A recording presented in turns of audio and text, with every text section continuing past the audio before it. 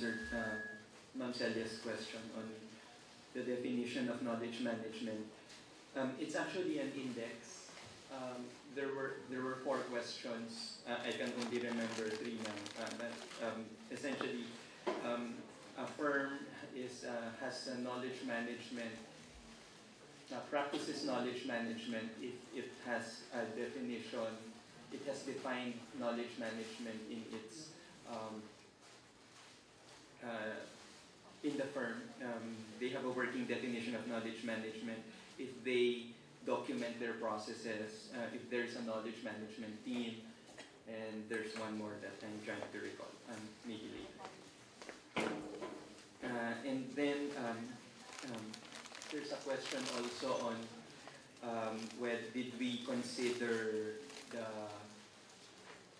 endogeneity of uh, innovation? Yes, um, in an earlier, um,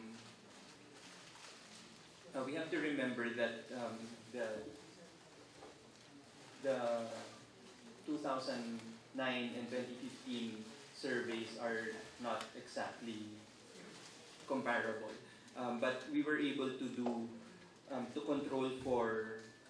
Uh, uh, because we were able to um, form a panel, we were able to control for um, time invariant uh, variables by using fixed effects.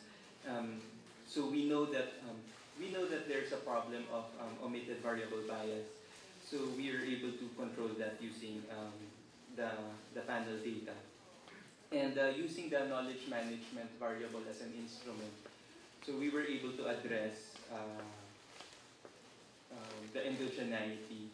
We use knowledge management as an instrument for uh, uh, as one of the models that we use to address uh, endogeneity, aside from the doing the the panel estimates, is also to use knowledge management as an instrument for innovation